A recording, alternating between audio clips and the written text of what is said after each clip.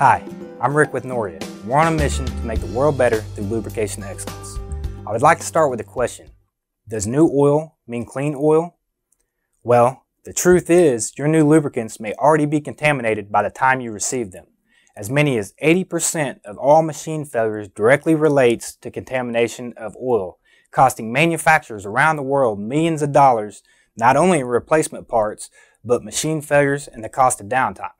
So how can we resolve this issue and others like it when we receive lubricants at our plant? Well, one of the first things to do is to test your new lubricants, making sure you have received the right product despite what the label on the drum may indicate. Not to mention, they may already be contaminated by the packaging or transporting process. Best practice would be to sample your new lubricants when you receive them, at least one sample per batch.